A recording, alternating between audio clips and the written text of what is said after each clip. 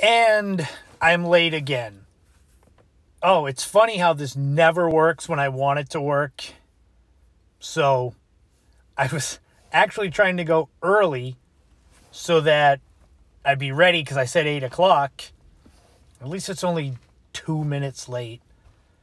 So I've been trying to get better at these things as far as live streams go to get more engagement and things like that so I've been posting a lot more about it. I've been trying to be consistent when it comes to the time. Before I had done five o'clock, and it's hit or miss. Five o'clock supposed to be good. Eight o'clock at night supposed to be good. I don't know. So we'll see. This is the fifth without a map podcast post game show. I'm not going to get too deep right now because I want to see how long it takes the word to get out that I have gone live. Because God knows I promoted it a couple times. It's going to be fun. I'm actually out on location again. Last week, I was on location from my driveway. this time I said, you know, I'm going to actually go out somewhere. So I am. I'm in a secret location. I'll share a little story about. So I won't give too much about the spot away, mostly because it's good. Not a lot of people come down here. So this may be a good place to set up shop as far as doing these. But I used to come down to this place many years ago, several years ago, with an ex girlfriend. And we used to come down here and we'd sit, it's by the water, and we'd have a few drinks and just listen to some music and chat. And it was a good old time. And obviously, once that relationship ended, what, why would I do that on my own? It's not smart, not safe, and just remind me of bad times. So why am I here now? Eh, figured what the hell, why not? Why not come down here, see how it is? So, without a map, it's like I said, a podcast post game show. I am in charge of the In My Footsteps podcast. The title should be up there. I try to make it easy enough to find. What I do with these, when I do the podcast, it's structured enough that it's like a teacher with a lesson plan almost where you want to make sure you get a lot of the important details to whatever segment you're doing. And I like these because they can be more f- free flowing, if that makes any sense. So, this past week, yesterday, my newest podcast episode came out. It was episode 14, which is pretty good. I've been running this podcast since November, and I was doing every other week for 2020 and then I decided to do three weeks on, one week off for 2021 just to see how it goes as far as workload. And it's been all right. You you kind of plan ahead. You can, you always got to plan ahead.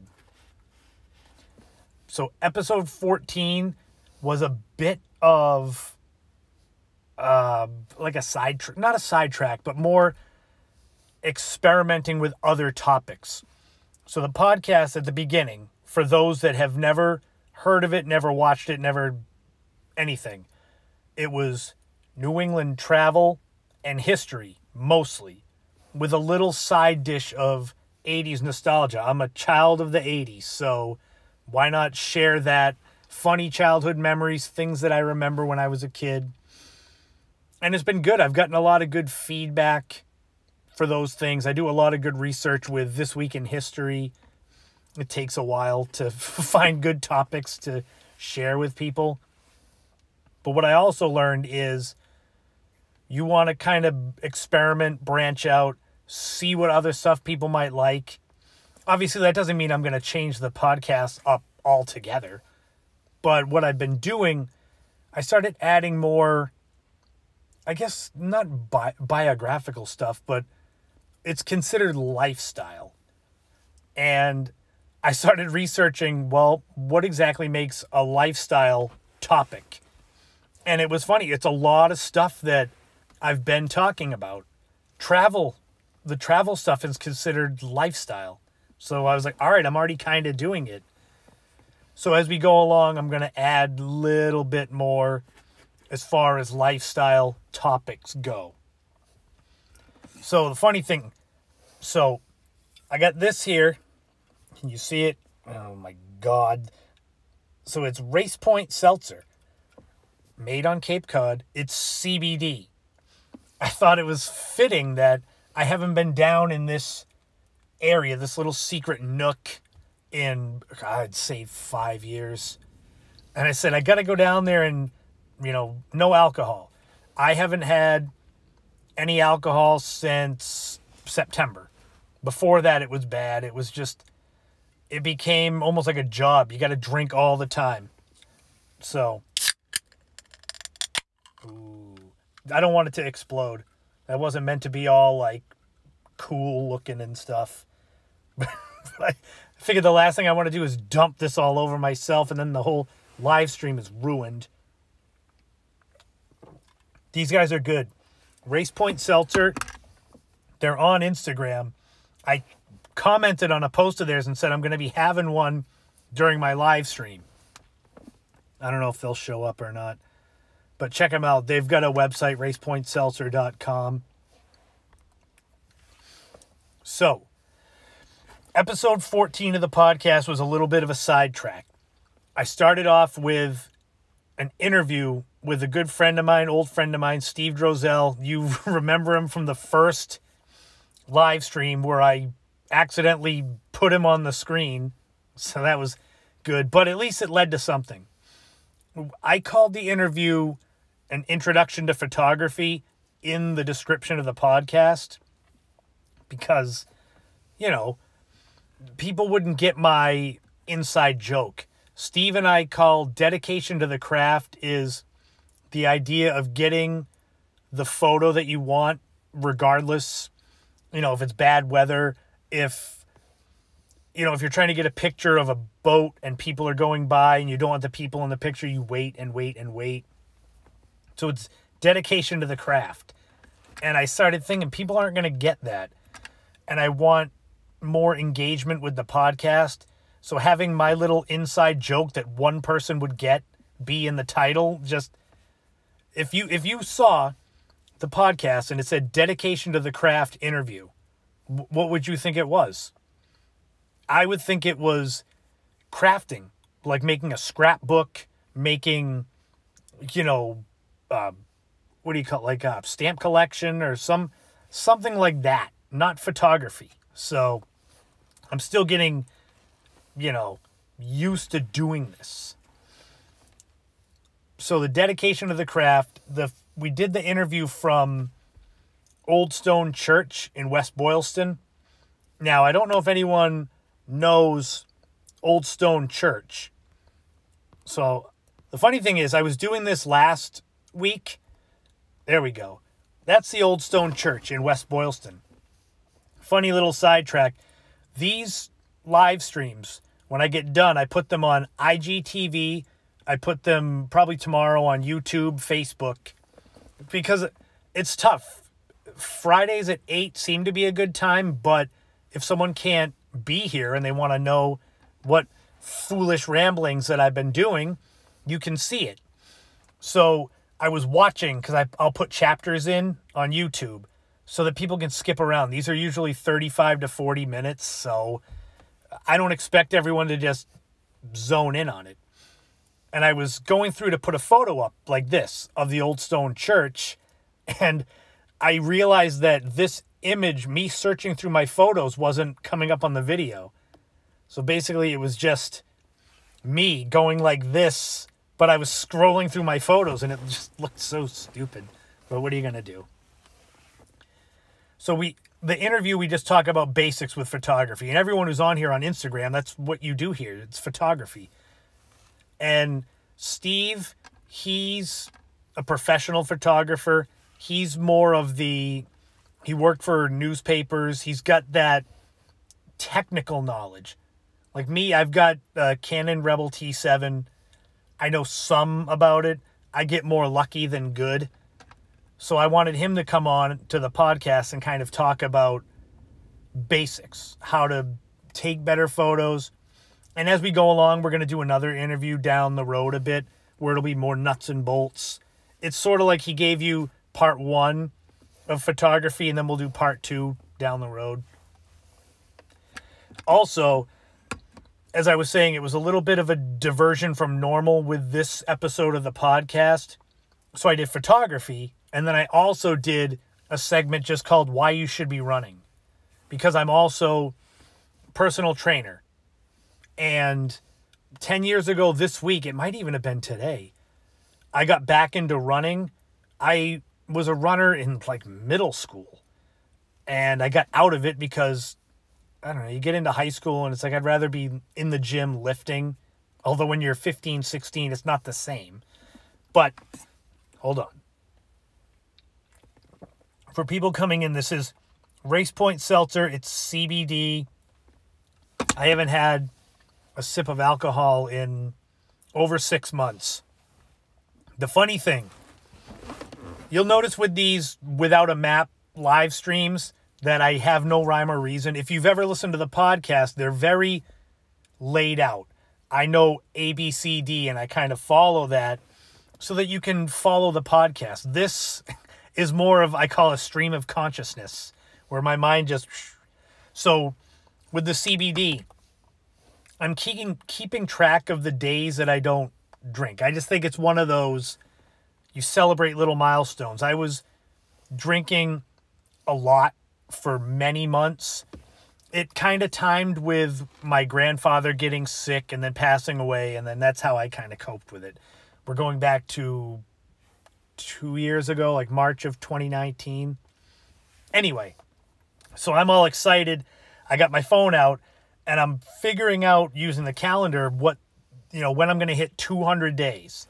And 200 days without alcohol is going to actually be April Fool's Day, which I said I couldn't have made that up because then I was like, maybe I'll make a joke and I'll just have a picture of like a 30 pack and be like, oh, I'm back on on the wagon and then April Fools.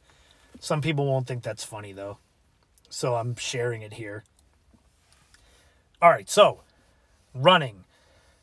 Fitness, cardio, it's hand in hand. You know, lifting weights, muscle burns fat, that is a given. That's why a lot of people if you get into a routine where you go to the gym and you start to exercise a lot to lose weight, you will initially drop a lot of weight.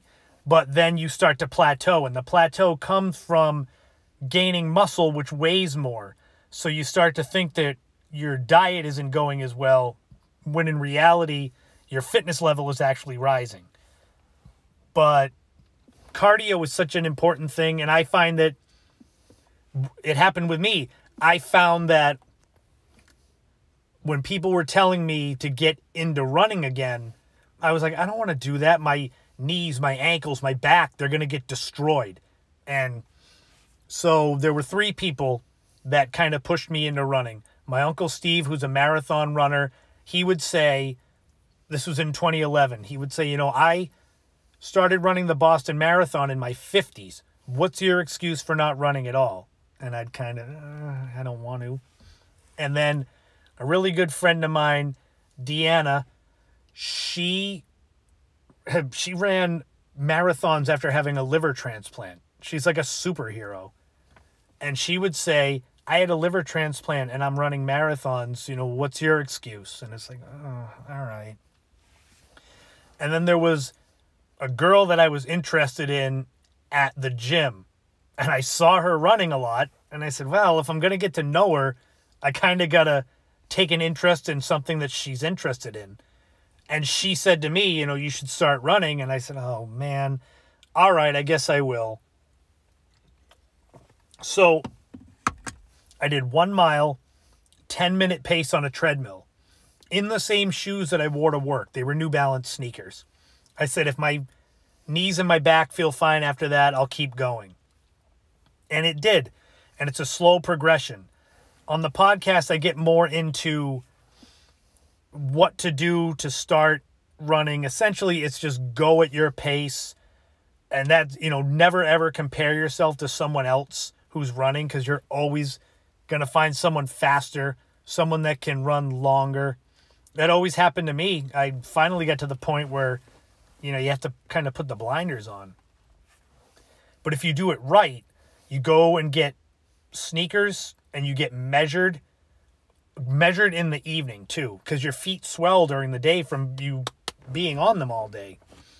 You get measured the sneakers that are right for you. I had the problem that i would always go for the sneakers that looked cool.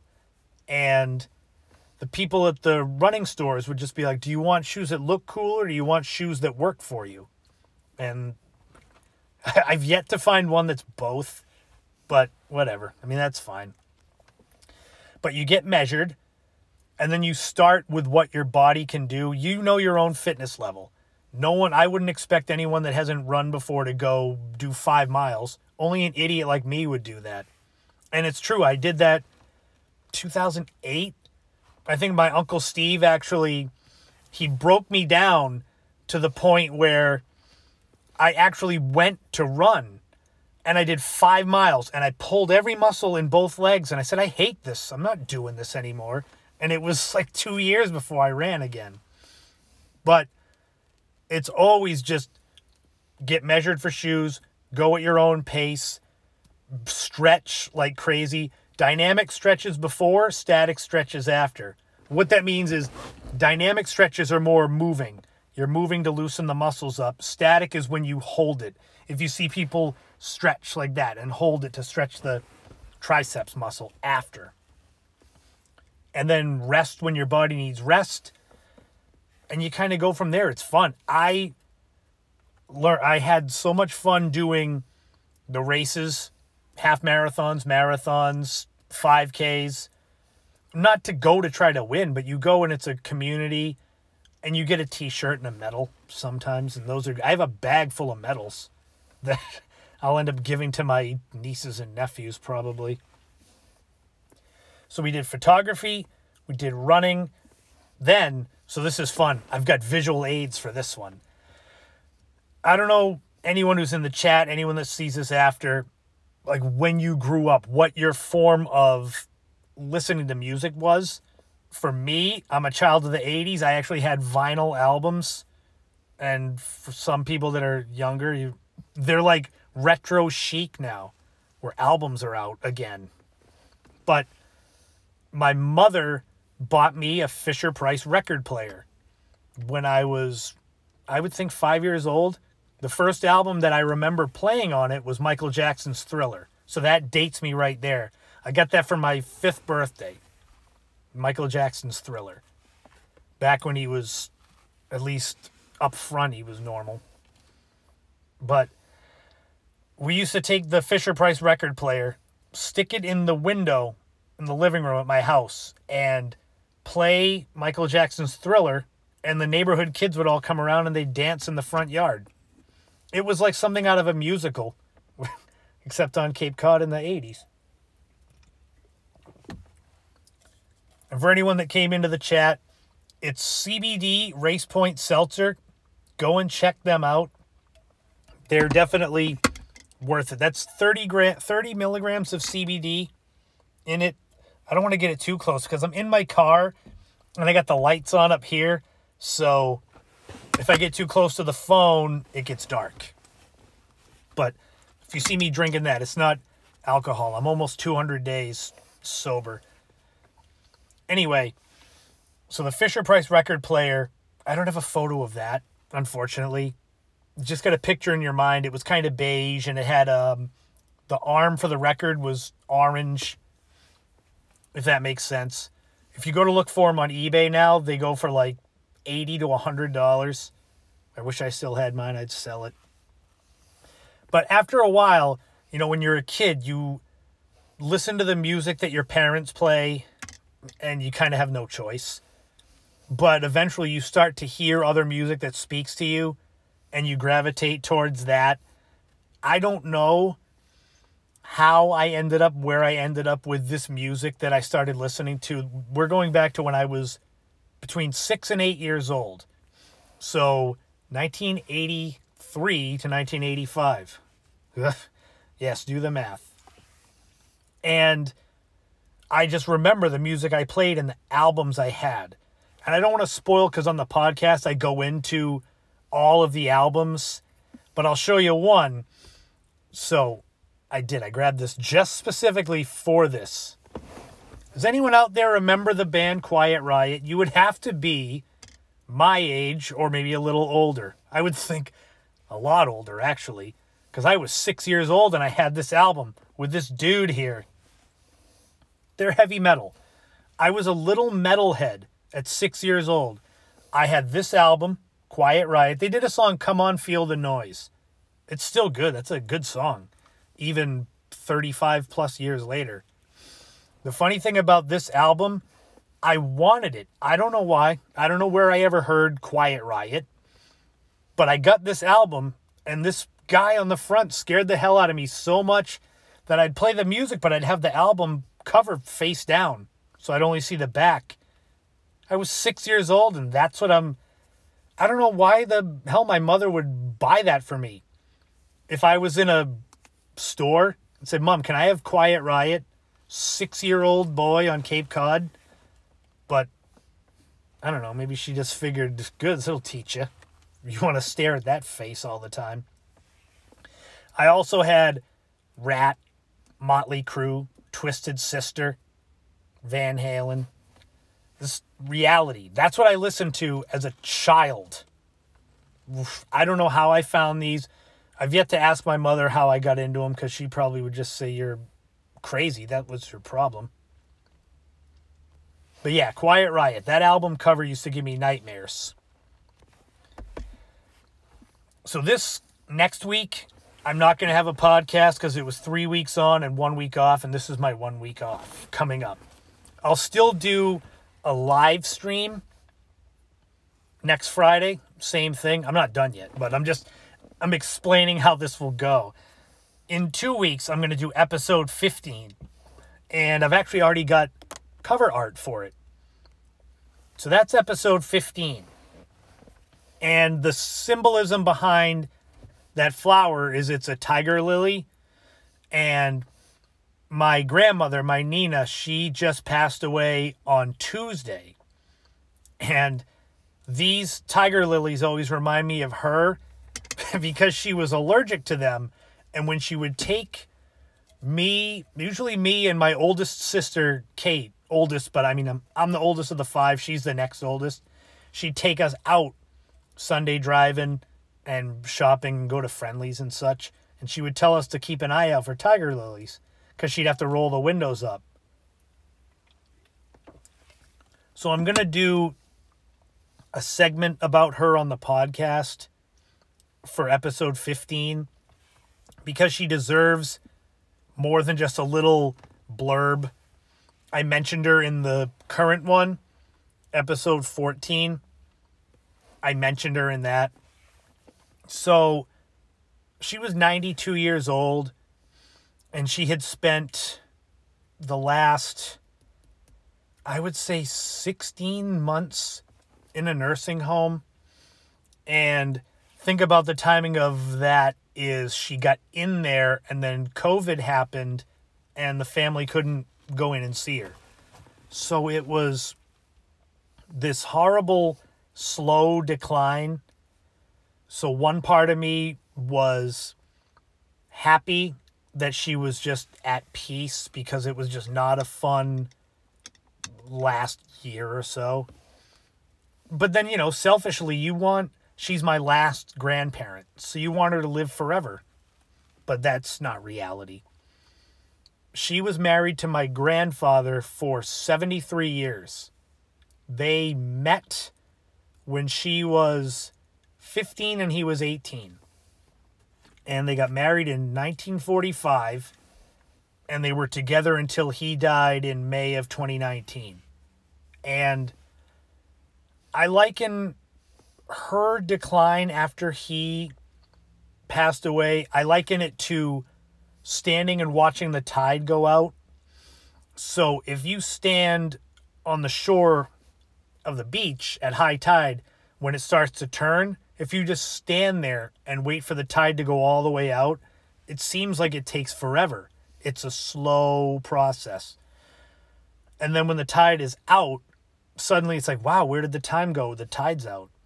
And that's how I feel like it went with my Nina was the tide slowly went out and then all of a sudden it's like, wait, it's it's over now. And that's kind of where it's at. But you cherish the time that you have with those people. I was lucky enough that my father's father, he passed away when my dad was young.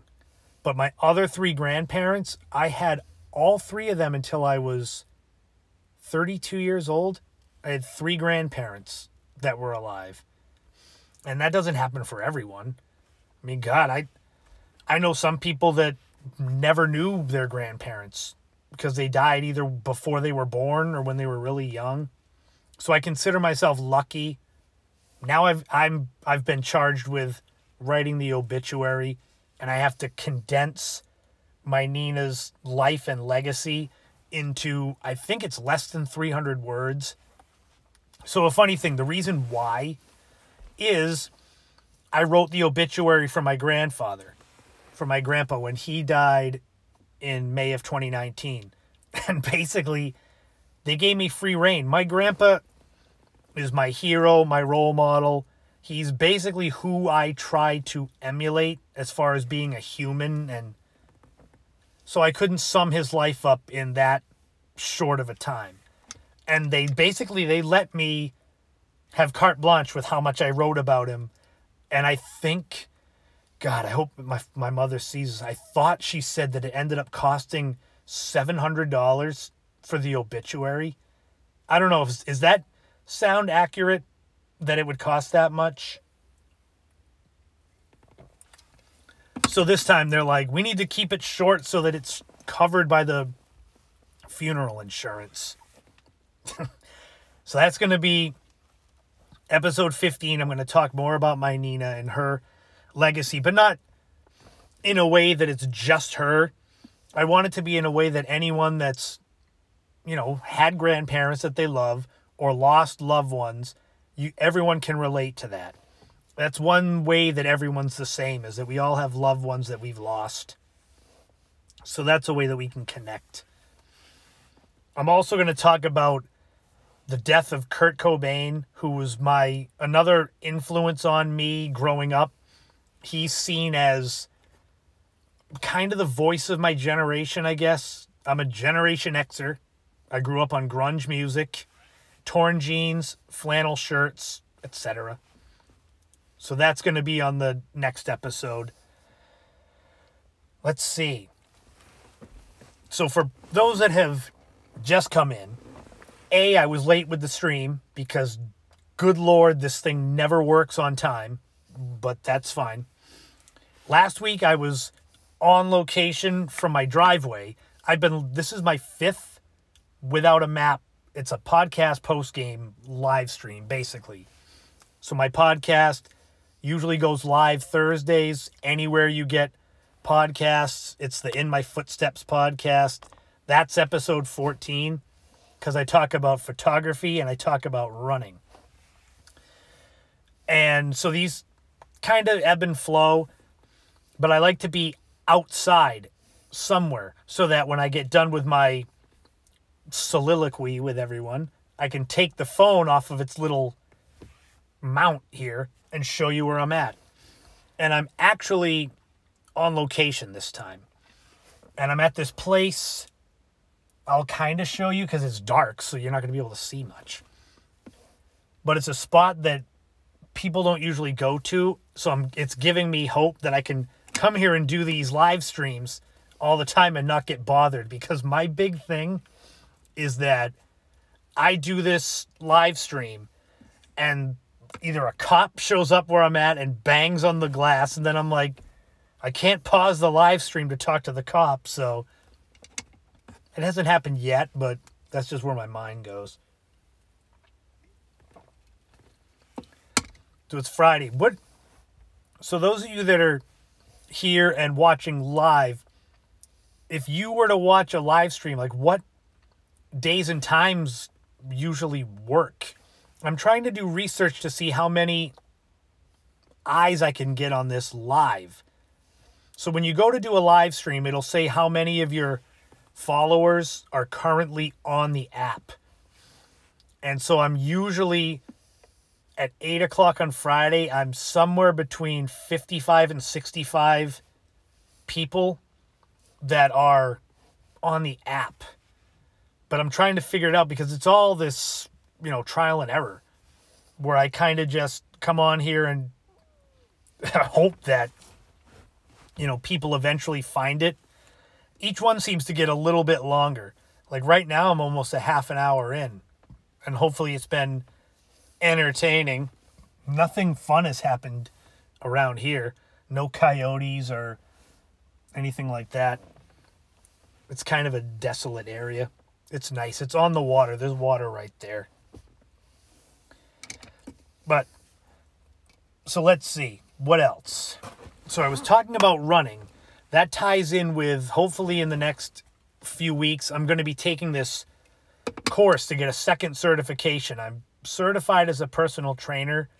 I always have to re re up that uh, continuing education every two years. So I'm going to get certified as post rehab training. Essentially, someone gets hurt, they go to physical therapy, and I would be that kind of branch or the the one to take the baton from the physical therapist. I don't even know what that means as far as what I could do for work compared to working in a gym.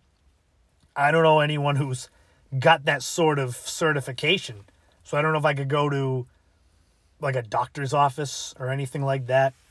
But that's coming up. That's why I'm starting to incorporate a little more fitness into the podcast because as I get more into that, I need to kind of speak more about everything that makes makes up me. So it's not totally biographical, but it's more I've been saying lifestyle because the podcast has been New England history and travel with a little pinch of nostalgia. And now that pinch of nostalgia has gotten to more of like a big handful, and I'm adding lifestyle topics. Like I said, episode 14 had an introduction to photography interview. It had kind of a beginner's guide to start running so that you don't get hurt doing it.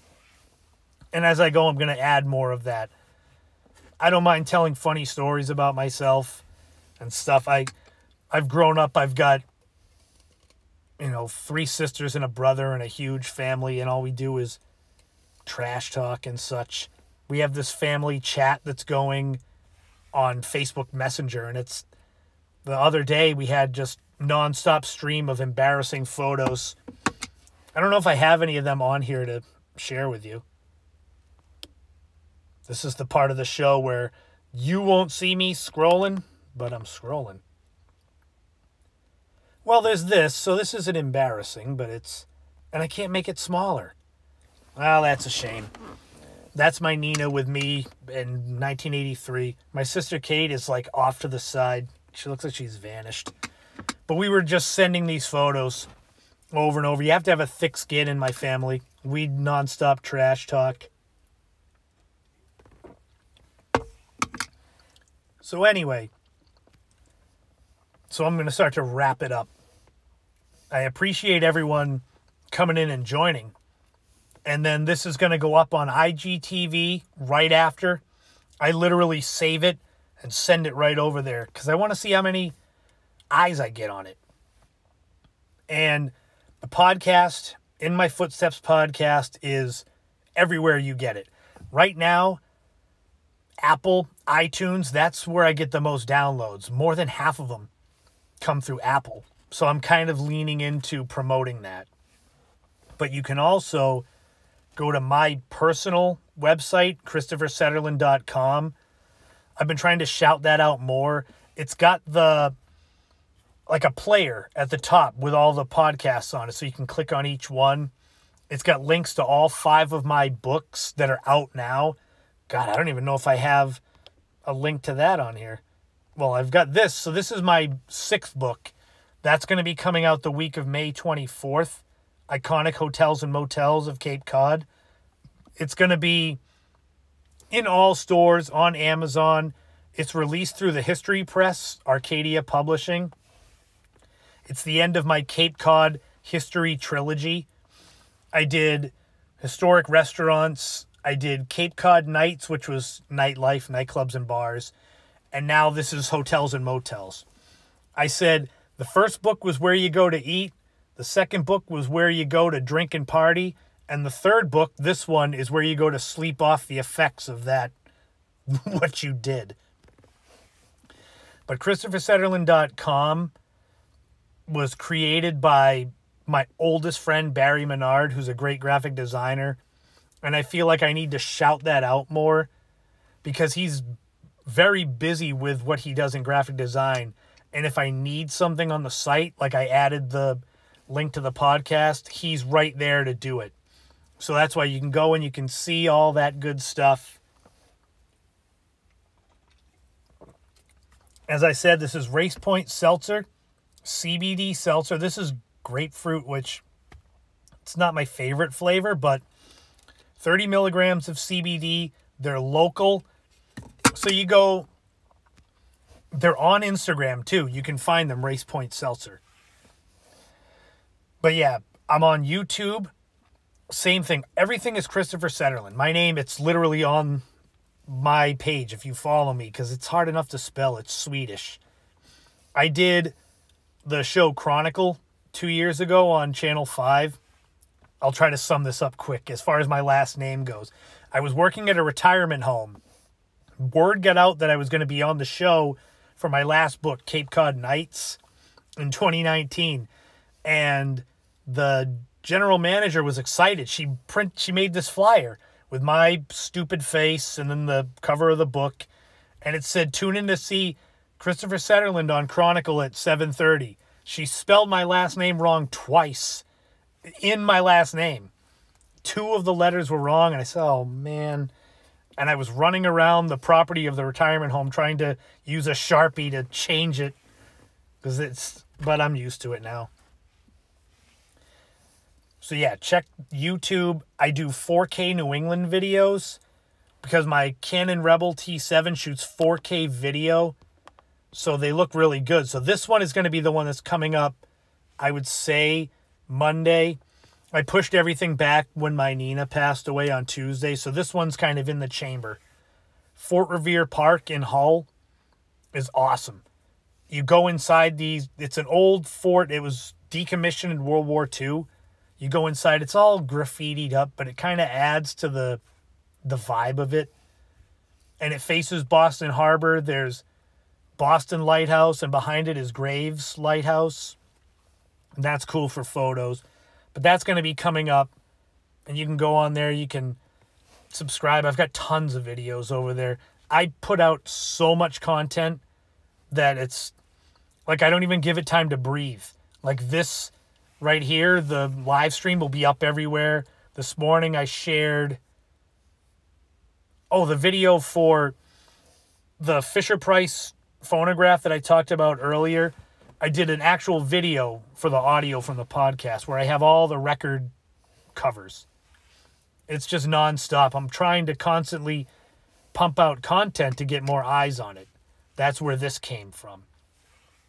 But I hope you've enjoyed you know this kind of live stream and, just let me know like what times and days like when you think about doing a live stream like checking something out like when when is the best like i'm doing all this research so i'm trying to keep it fridays at 8 but if i find another day and time is better who knows so what i'm gonna do is i'll show you proof that i'm on location so what i'm gonna do is flip this and we'll go outside.